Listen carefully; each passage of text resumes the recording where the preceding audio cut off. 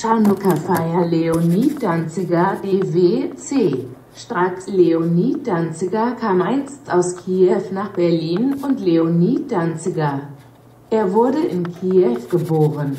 Während der Nazi-Jahre war er mit seiner Mutter in Samara an der Wolga.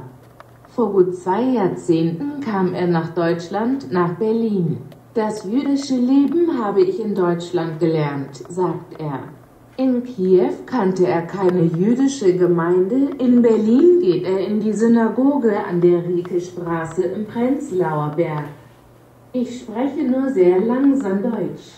Aber ich verstehe alles. Deutsche Kultur und Geschichte habe er im Internet gelernt.